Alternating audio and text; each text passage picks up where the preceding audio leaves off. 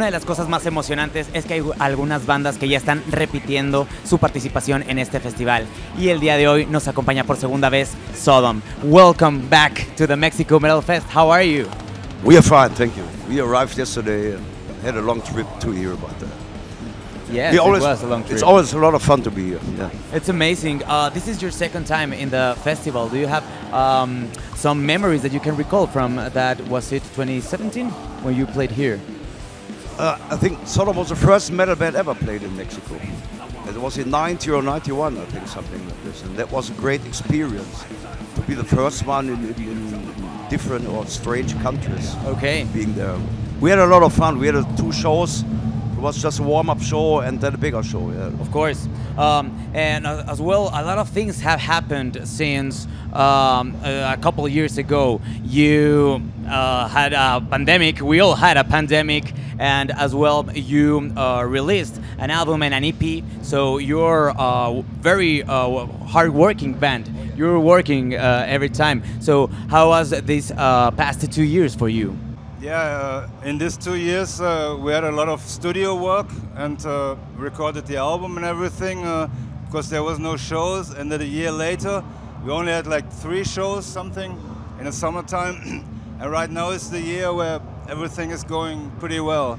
We have a lot of festivals, we have uh, shows, we have a little tour at the end of the year, and uh, everything works well. So, so we, we are always busy, you know, and there is no time for vacation or whatever.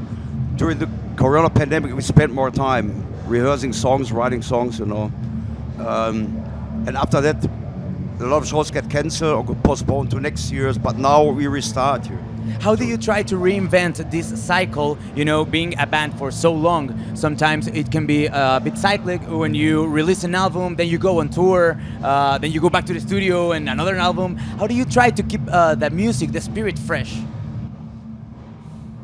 do we always try to keep the spirit of our own music you know we, we um, i think the most important part is to say that we never get any dictations from record companies or other doing this doing that you know to get more commercial you know we do what we want you know we are just metal fans making music for a while and that is the only difference to all the other bands around Do you think that's the key to, to be a band for so long? To keep Yeah, I think so. Uh, I mean, uh, we love what we do, and now we have the best lineup ever, maybe. And uh, it's so much fun, and uh, to be together and uh, be on tour and everything, and play, and uh, even in, in, the, in the rehearsal room when we practice, everything is a lot of fun, and uh, that's what I guess keep the band together and. Everybody's really into it to go on stage, and uh, yeah. I would love to have like a bit of a sneak peek into your uh, rehearsal room. So, what happens there? Do you sometimes jam? Did you just practice the songs? Do you try to play new riffs and just uh, create something new? How was it? it's sometimes we, we go, go to rehearsal room we want to write a new song whatever you know we just drink beer you know Okay. Yeah, it always depends uh, what we want to do, you know. Or we pray, uh, we are practicing set for live shows, or we, we start a new song and uh, record some drums or whatever, and uh, it's always a little different. Or we clean up our rehearsal room and get all the beer bottles out and everything. Recycle them, of course. I know, I know a lot of a lot of other bands. They don't practice in a rehearsal room. You know, they they gonna write songs by MP3 trading. You know, you're gonna send me a guitar file. I put drums on it. You know, that is not the way it works. You know, you have to do it. Doing a jam session, start re, start recording a song, writing a song. You know, that's coming from your heart. You know. Of course, I think that metal is uh, trying to keep that as well. Uh, I've been asking all the bands about their uh, songwriting process because now technology has become uh, such an important thing in the songwriting process. So you're telling me that you keep it uh, with a jamming session, you try to make it from the heart, right?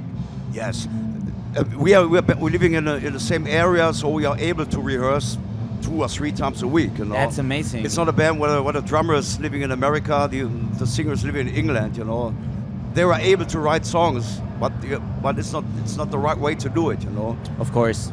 Uh, so now um, you're still releasing music. You're still uh, having new songs, and I know that war is a very important topic in uh, Sodom's music. So, do you have an intake on what's happening right now between Russia and Ukraine? Uh, is that an inspiration for It- new yes, songs? It's, it's a bad situation, but it's a big inspiration for me writing lyrics or writing songs. You know, we always um, just describe how bad a war is or could be. You know, we are we are only we want to live in a peaceful world without wars. You know, course. we just describe it. You know, there is no there is no political opinion into the songs, whatever. You never find any political statements in it. Just stop the fucking war. You know, we want to live in a peaceful world, like everybody on this on this world. You know. Um, yes, but some people say, well, they're, these are fascists, or they are right, or they are left. You know, we are not. We want to have free. We want to have freedom, uh, and um, that's what, what we're gonna write in the lyrics. You know. That's amazing. Uh, good thing I think about having uh, these kind of interviews when uh, where the uh, crowd can really get to know a bit of the band's um, side in, Yes, in yes. certain topics, uh, despite all the things that they could think uh, with the- songs and with the uh, maybe album covers and so. Uh, so coming back to to music and your huge career, did you uh, do you at any point think about your career? What have you done, and what will uh, stay for younger bands? Your influence on music and uh, other music genres. I know, I know that Sodom is a big influence to younger bands, and uh, sometimes I talk to younger bands or younger musicians who are gonna ask me what to do to get a rock star. it's very, it's very hard nowadays. You know, when we started the music, there, there was just a handful of bands did this kind of music. You know, but nowadays, when you form a out- now a new band, you know, it's very hard.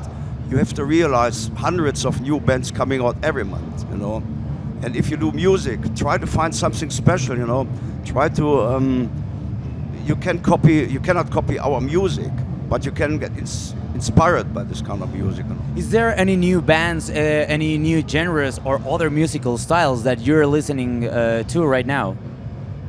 I'm not the right guy to ask that. I'm, uh, I'm a little Ask him. At the moment, I listen a lot black thrash, Okay. uh, like Gallowar from Poland or Black Evil from Germany, Nice. Warlust from Germany.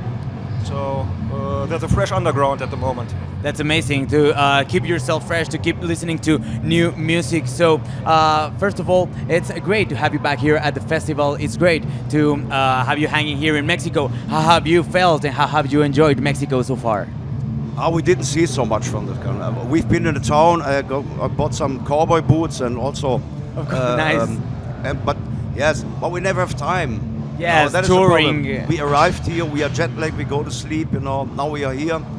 Tomorrow we have a day off. You know. We try to walk around or looking other bands tomorrow. You know. That is always a big problem. Of it's course. a pity. We should stay here uh, one or two more weeks for holidays. That would It's be so amazing. Nice here in the hotel. We have a pool and the weather is fine and everything. Uh, we should stay here a little longer. You should. And yeah, I just had to look up uh, the name, but I enjoyed a drink called Michelada. Okay, yes, So- of course, Michelada. That's amazing. Well, guys, um, you are a huge part of this lineup. You're, um, I think, one of the uh, four very important parts that uh, the people were really looking forward to see. What's your intake on that? Can you hear me? Yeah. I don't, I don't know. We, we always do what we want. We go on stage, do it, do the set list, you know. But it's amazing to see all the German bands in here. We talk about the big four. We also have Gravedigger here. We have Hellhammer here. It's great, you know. You never, you never get a festival with a lineup like this in Germany or whatever. I don't know how it works out here, you know. It's fantastic, you know. We were very passionate. We were uh, uh, working hard to have you all in here, all the German bands in here, and it's great. Thank you so very much for your time. It's great to talk to you, and I hope you really enjoy your show uh, in just an hour. Okay? Thank you so much. Y aquí seguimos en las entrevistas que tenemos para todos ustedes en la quinta edición del México Metal Fest.